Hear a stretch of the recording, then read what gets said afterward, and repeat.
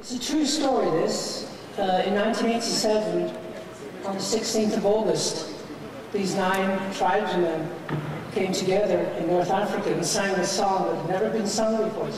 On November 21st, 2002, the seminal progressive rock band known to the world as Yes took part in a wonderful collaborative effort involving teenagers from the Lincolnwood Chorale, a select singing group of talented students from the north suburban Chicago area.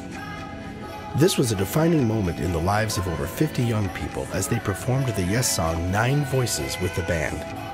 The resulting standing ovation from the audience was truly a testimony to the members of Yes and their commitment to furthering their musical message by reaching out to the next generation of Yes fans and supporting music education in such a unique way.